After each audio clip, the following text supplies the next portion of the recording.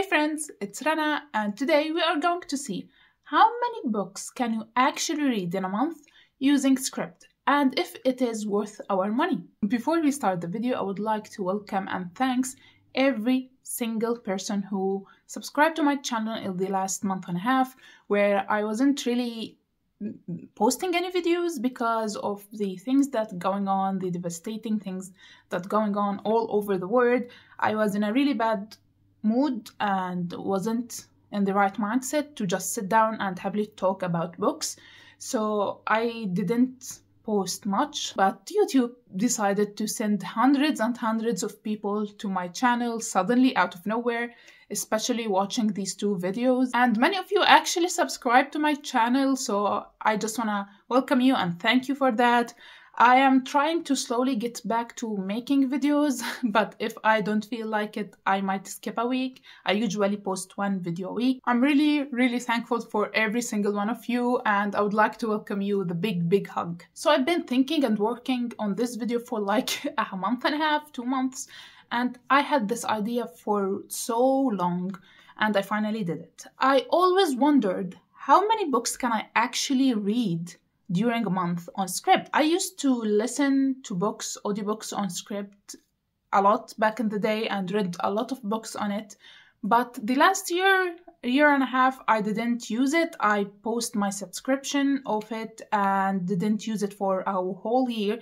During my time, I was making my zero TBR challenge where I wanted to tackle my physical TBR and read every single book I own. And I can't really remember how many books I actually read on Scribd in a month because if you are if you open Scribd you see that it, it says that you can read unlimited amount of books each month. So I wanted to test it out to see how many books can I actually read on Scribd or how many books I can actually read that I'm interested in. Because if you never use the Scribd whenever you listen or read books from your saved list on it, uh, it uh, slowly removes books from it and make it unavailable till your next subscription renewal date. And what I noticed since the last time I used it, uh, it used to, the subscription used to be less than $9.99. I remember it was a little bit less, like $7.99.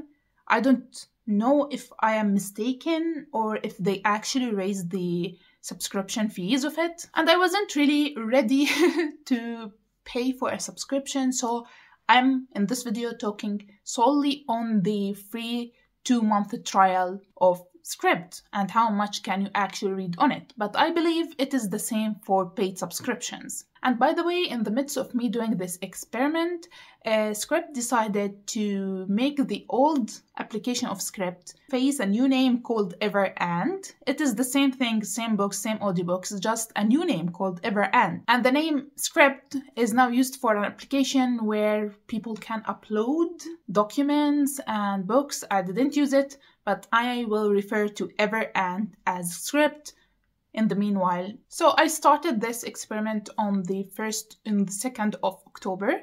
I went on the application, made a new account with two month uh, free trial. So I saved a hundred titles that I'm really, really interested in reading, and you can look at them right here. Some are audiobooks and some are um, ebooks, but the majority of it are audiobooks. The main reason why I love Scribd so much is because I love the um, layout of the audiobooks player. And the fun thing about Scribd that it when you change the speed of the audiobook, it changes the duration of the book remaining for you to finish which I really, really love. So the first book I started this experiment with is Woman World by Aminder Dhaliwal. So it is a cute graphic novel with a beautiful color scheme talking about how the world would look like if men died or disappeared from the world and only women survived on it.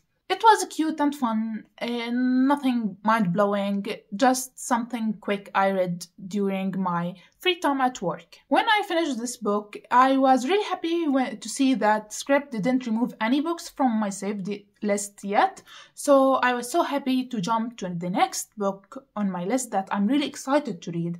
It is a new release, and you, if you know me, you know that I am not really a huge fan of releases. I don't follow them up. I don't really care about new releases, but this one was the exception. It is Evil Eye by Etaf Rum, and I decided to listen to the audiobook of it. I previously read and loved this author's debut novel, A Woman is No Man, and I was really excited to read her new release. However, it ended up being very disappointing. I'm gonna talk about it in a whole nother video a review video of the book. And once I finished Evil Eye, I marked it as finished on Scribd, closed the application, refreshed it, and opened it again to, to no surprise to anyone.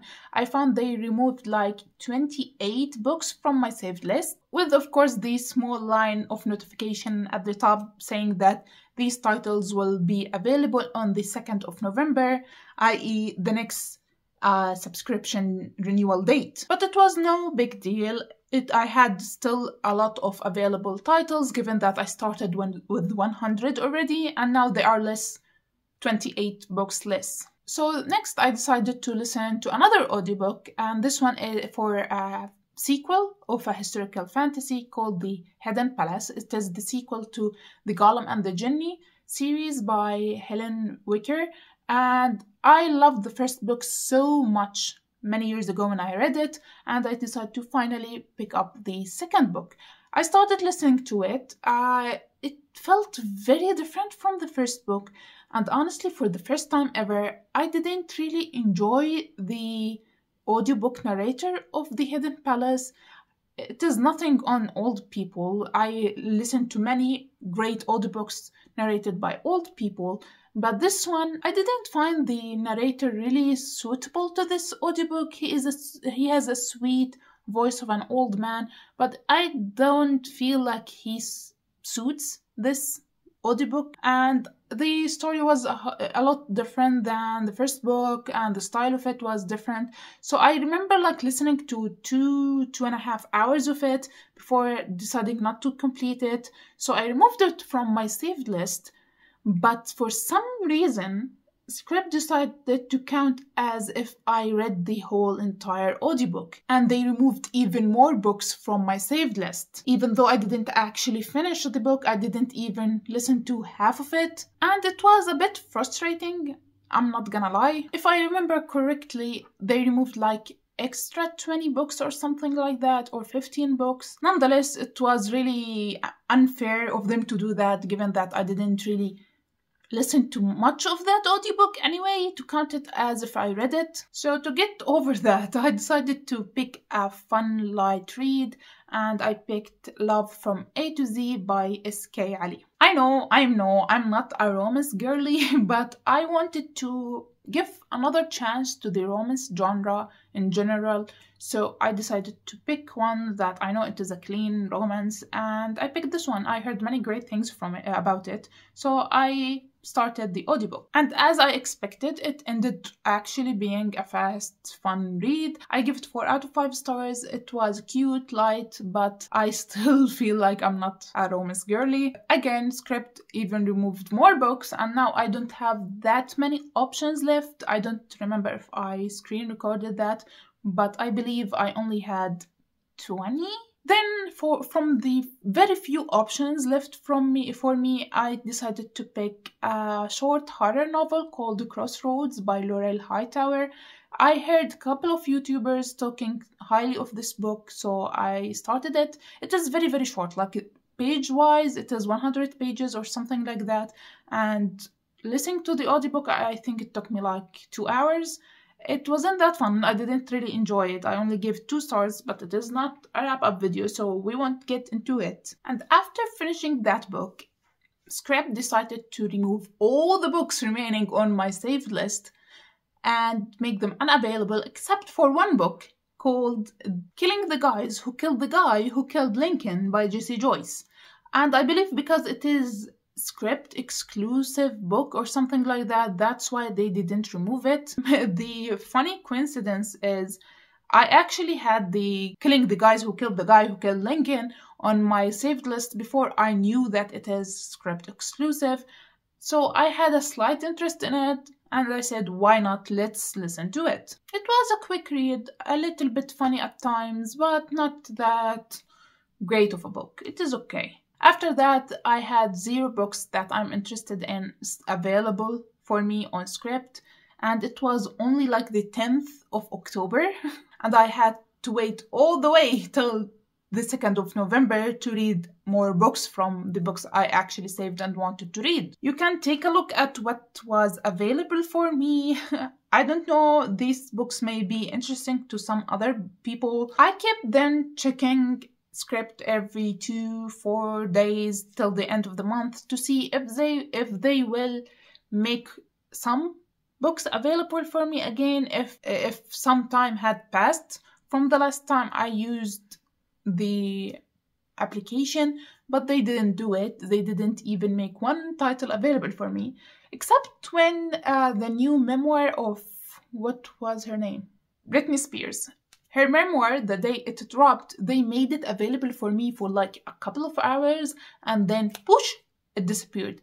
Was I interested in it? Not really, but it was really interesting seeing that they made it available for me on the day of its release. And no other interesting book where it was available for me until the 2nd of November. So the first month I read five books. So when the 2nd of November came along, uh, they actually switched it up and turned Scribd into Everand. And I was supposed to make this video at the start of November, but when I saw that they made these changes, I asked myself, maybe they will make it possible for us to read a little bit more books with the new changes and the new name of the site. So I told myself, let me push it for a few more days and try to listen to more audiobooks on Everand and see if it is more books I can read or less books than I can read. And this time around, I went with the mindset that I wanted to listen to very popular books to see if it will change the results of how many books I can actually listen to. On the 2nd of November, I opened the application and all the books that were unavailable from my saved list are now again available for me. I updated the application and it is now and And I started my first book. And the first book I decided to read I never have been interested in this book, but it is very, very popular here on BookTube, TikTok, uh, Instagram, all over the internet and the real world. And I swear to God, I never been interested in this book until I read Vicious by V.E. Schwab and I loved it. So I said, maybe I'm gonna enjoy this book if everyone else enjoyed it because it is by an author that I really loved a book by them before. So I started to read or listen to the audiobook of The Invisible Life of Addie LaRue. Took me like a week to finish the audiobook because I didn't have that much time to listen to it and it is quite long. It is marketed as historical fantasy romance. I don't really know about the fantasy part of it because I didn't find much fantasy in it. It was like 95% of it historical romance and a sprinkle of fantasy. Again, we are not gonna review these books, but I finished it.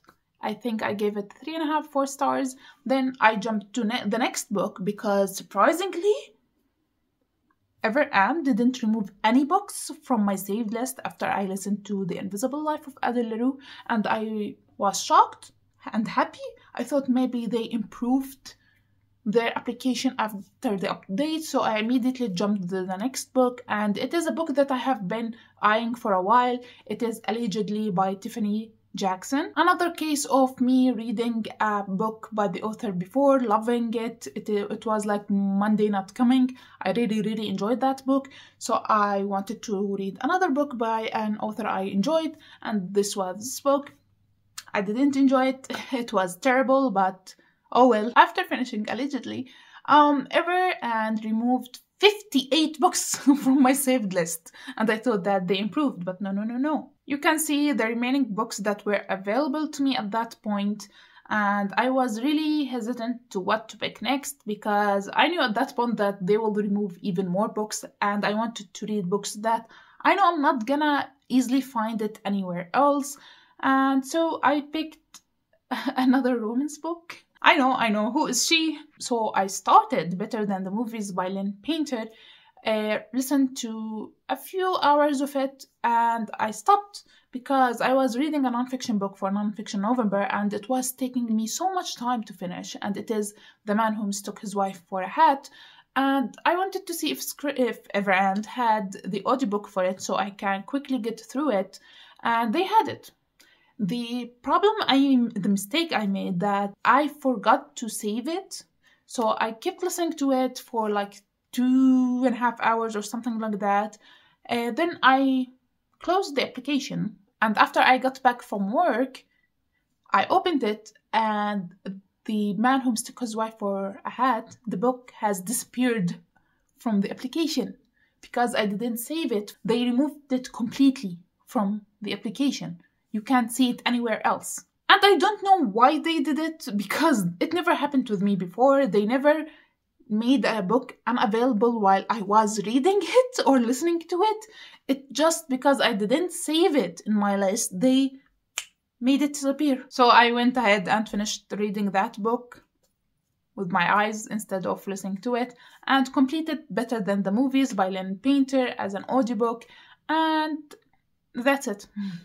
That's all the books they let me read in the month of November. Only three books. And two hours from The Man Who Mistook His Wife for a Hat. Which I couldn't believe because the previous month you let me read five and two hours of a book, five and a half books. And this month you let me three and a half. What is the math behind your site, Everand? Please explain. You can imagine my shocked face when I entered Everand and found no books available to me they were all titles will be available soon on December 1st. And that was like three books that I read. What? Make it make sense. The previous month I read five books. This month you let me read only three. Yes, there are the um, weird available books on Scribd that no one reads, let's be honest, unless you are of a niche taste with books on Scribd, but the remaining books I'm not gonna read them. Is it possible that they don't count the books but count the length of the books? I'm gonna make put my calculations here because my brain isn't working right now. Woman World was 259 pages. Evil Eye by Etaf Rum is 11 hours and 14 minutes. Love from A to Z is 9 hours and 11 minutes. Crossroads by Laurel Hightower is around three and a half hours. Killing the Guys Who Killed the Guy Who Killed Lincoln by Jesse Joyce is like 2 hours and 47 minutes. And two hours of the book that I finished in October, which is The Hidden Palace. The Invisible Life of Addie LaRue, 17 hours and 10 minutes. Allegedly 10 hours and 33 minutes. Better than the movies, 10 hours and a half. So these are the calculations of the books I read in October and November so using Scribd slash Everand do they add up? Are they equal amount or nearly equal amount or are they going on the popularity thing, not the length of the book thing? I can't really tell and I'm tired of it. so now the biggie question is Scribd slash Everand worth your money? Is it worth $10 a month? Yes and no, because yes, because you can listen to more than audiobook unlike audible it is way more expensive and i don't like to support amazon. No because you can't actually pick exactly what you want to listen to. May, the first book yes. The second book yes maybe. The third book you have way less options because they keep removing books from your list. So if they want my advice on improving their application or website, I suggest that they keep the fee of $10 a month However, you can also be honest with us and tell us that it is not unlimited amount of books a month. You can say unlimited amounts of Scribd exclusive content but specific number of books monthly. Like make it our choice to pick what we actually want to read. Don't limit us slowly limit us to specific books. Like let us read like three four books a month and the rest are Scribd exclusive or whatever for $10. That would be amazing if you can be this honest with us. I believe they are worth it, but they need some improvements. I will definitely pay money for them again in the future, But in the meantime, I want to focus more on the books I own, but I'm gonna definitely use Everand again. If you want me to make part two of this experiment, please leave a comment so I can do it to pay them money for a month and see how many books I can actually read if I paid the subscription fee not just a free trial. But from what I heard from some people over the internet, it is nearly the same. But I will do it if you want me to pay a subscription fee of one month and see if it is different than the free trial. And if you want to try it for yourself, to try Everand yourself and read for two months for free for a limited number of books, you can use my link in the description box where you can get two months free of Scribd slash ever Everand and then share your experience with me. So that's it for today's video. I hope you enjoyed it. I really enjoyed it myself doing something different on my channel. I hope you enjoyed it too. Please subscribe to see my future videos and I will see you next time. Bye!